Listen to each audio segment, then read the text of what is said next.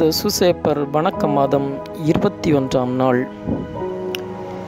ஒரே மனம் ஒரே சித்தம் ஒரே ஞானம் ஒரே நட்பு ஒரே அன்பு இருந்தால் திருக்குடும்பம் என்று பெயர் பெற்றது. கிறிஸ்தவர்களாகிய நாம் நமக்கு நன்மாதிரியாக திருக்குடும்பத்தை கொண்டு நம் குடும்பங்களை திருக்குடும்பத்திற்கு காணிக்கையாக்குவோம். நம் குடும்பங்களிலே நாம் சிங்கங்களைப் போல் இல்லாமல் மனைவியை அன்பு செய்து வாழ வேண்டும். மரியன்னையே அவ்வாறே கணவன் தனக்கு மேற்பட்டவர் என்பதை உணர்ந்து வாழ்ந்து வந்தார். நம் வீட்டில் இருப்பவர்களை சரியாக கவனிக்காமல் அன்பு செய்யாமல் வெளியில் தர்மம் செய்து எந்த பலனும் அடையப் போவதில்லை.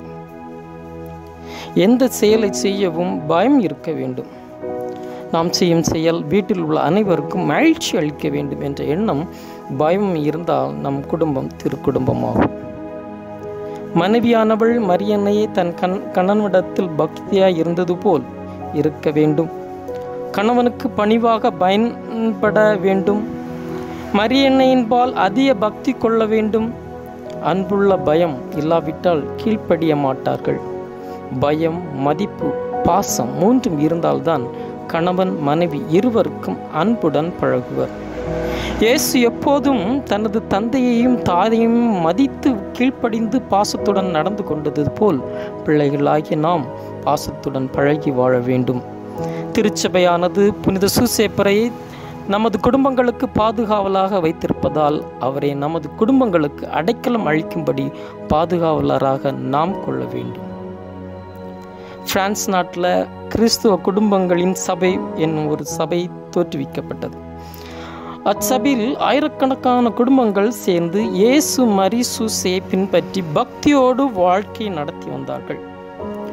புந்து சூசேப்பரை திருக்குடும்ப தலைவராக கொண்டு திருக்குடும்பத்திற்கு ஏற்புடைய குடும்ப நிகழ்வு வி- விரும்பினார்கள். கிறிஸ்தவ குடும்பங்கள் திருக்குடும்பத்தின் சாயலாக இருக்க வேண்டும் என்பதே இச்சபையின் நோக்கம். அதனால் இறைவனின் கட்டளைகளை திருச்சபை கட்டளைகளையும் சரிவர கடைபிடித்து தங்கள் பிள்ளைகளை இறைவனின் விருப்பத்திற்கிணங்க வளர்த்து காலை மாலை ஜெபங்களை குடும்பத்துடன் செய்து தங்களுடைய கடமைகளை சரிவர செய்து வருவோம் என உறுதியளிப்பார்கள். மாதந்தோறும் இச்சபையில் உள்ள குடும்பங்கள் நல்ல முறையில் செயல்பட அனைவரும் கூடி ஜெபிப்பார்கள். ஏழைகளுக்கு தேவையான தான தர்மங்களை செய்து நோயாளிகளுக்கு தேவையான மருந்துகளை வழங்கி மரண தருவாயில் இருப்பவர்களுக்கு வேண்டிய உதவிகளை செய்து இறந்த சபை உறுப்பினர்களின் ஆன்ம இழைப்பாற்றிக்காக ஜெபித்து வந்தார்கள். பிற குடும்பங்களை சீர்பெற செய்ய முயற்சிப்பார்கள். இந்த சபையின் மூலம் எவ்வளவு ஞான நன்மைகள் வந்திருக்கிறது என்று சொல்ல முடியாத அளவுக்கு இருந்தது. கணக்கில் கணக்கில் அடங்காத குடும்பங்கள் இந்த சபையில் சேர்ந்து பிறகு திருக்குடும்பத்தை பின்பற்றும் அன்பிலும் அமைதியிலும் பண்பிலும் தங்கள் கடமைகளை சரிவர செய்தும் வந்தனர். பாப்பரசர் இச்சபைக்கு அங்கீகாரம் கொடுத்து ஆசீர்வதித்து பல உதவிகள் செய்ய முன் வந்தார். கிறிஸ்தவர்களாகிய நாம் நம் குடும்பங்களே இறையாசிர் நிரப்பி இருக்க நம் குடும்பங்களை பின்பு சூசைப்பிற்கு கணிக்கையாக்கி திருக்குடும்பமாக வாழ முயற்சி செய்வோம். முயற்சி செய்வோமா? புனித சுசேப்பிற்கான ஜபம். திருக்குடும்பத்திற்கு தலைவரான புனித சுசேப்பரே உம்மை போற்றி புகழ்கிறோம். உமது குடும்பம் பிதா சுதன் தூய் ஆவியில் இருந்தது போல் எங்கள் குடும்பங்களையும் மாற்றியருளும். கணவன்கள் உம்மையும் மனைவிகள் மரியன்னையையும் பிள்ளைகள் இயேசுவைப் போல் இருக்கச் செய்தருளும். எங்கள் குடும்பங்களிலே அமைதி அன்பு ஒருவரை ஒருவர் மதித்தும் பாசத்துடன் வாழ செய்தருளும். நாங்கள் திருக்குடும்பத்தின்பால் பக்தி உள்ளவர்களாக வாழ உதவி செய்யும்படி உம்மை மன்றாடுகிறோம். ஆமீன். என்று சொல்ல வேண்டிய ஜபம்.